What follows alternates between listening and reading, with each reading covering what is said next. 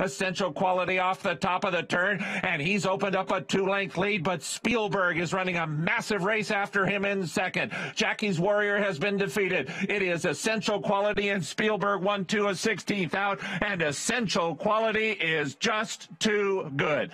Essential quality, the champion, wins the Southwest. Essential quality won by three and a quarter. Was charging hard for Junior Alvarado. He just went up into second from Tarantino back third. Then Prime Factor and Greatest Honor as they turn for home.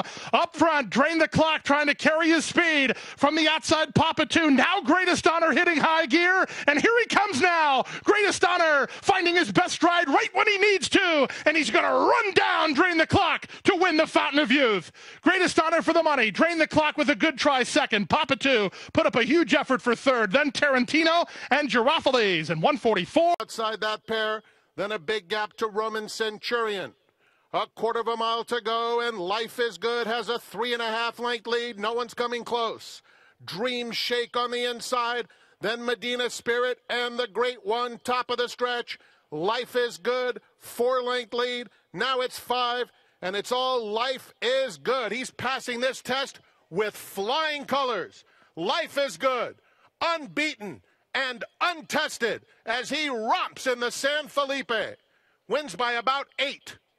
Medina Spirit second. Dream Shake third. Roman Centurion, and then a photo between the great one and none above the law.